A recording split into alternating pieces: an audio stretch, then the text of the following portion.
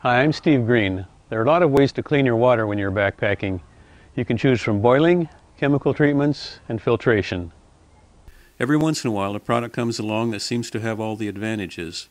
At 3 ounces with the lightest of the three provided pouches, the Sawyer squeeze filter is almost as light as Aquamira or potable aqua, and there is no difficult pumping, no chemicals, no batteries, and no waiting. It is probably the lightest and most versatile filtration system you will find. It weighs only 3 ounces and rolls up and takes very little space in your pack. The three pouches can be reused hundreds of times.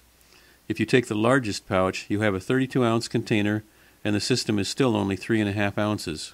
Simply unscrew the cap and fill up the pouch of your choice at a lake, stream, or river. Screw the filter directly onto the pouch. Wipe off any dirty water from the bag. Open the push-pull valve on the filter and squeeze the bag and clean water will flow into your water bottle or container of choice. You can drink directly from the filter which has a built-in push-pull cap for on-off functions. You can attach the filter onto most threaded water bottles including 2-liter bottles because they have the same type of thread. The kit includes three lightweight, durable, collapsible pouches a 12 ounce, 16 ounce, and 32 ounce pouch, a Sawyer 0.1 absolute micron hollow fiber membrane screw on off water filter, a replaceable pop up drinking spout, one cleaning syringe, and cleaning and maintenance instructions. The filter removes 99.99999% of all bacteria like Salmonella, cholera, and E. coli and 99.9999% of all protozoa such as Giardia and Cryptosporidium. These removal rates equal or exceed competitive options. EPA guidelines allow 10 times more protozoa left in the water than Sawyer allows. You'll get quite a fast flow rate from the hollow fiber membrane. Sawyer uses technology used in medical dialysis equipment. Sawyer guarantees the filter for life.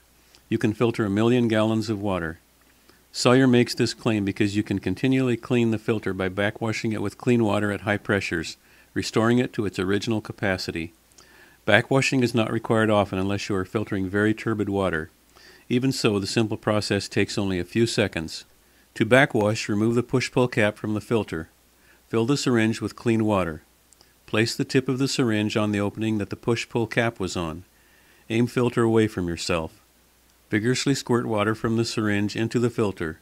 Repeat several times. If you are accustomed to a ceramic filter, the cleaning ratio is approximately 20 to 1.